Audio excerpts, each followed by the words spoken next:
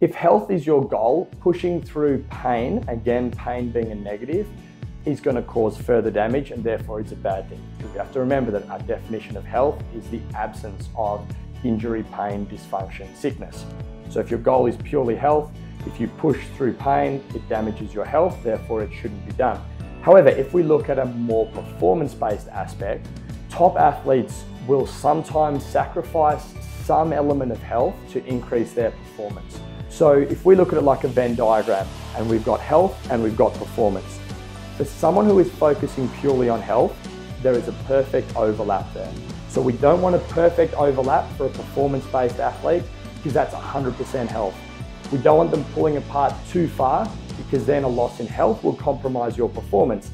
We want enough of an overlap so we have enough health to still have maximal performance.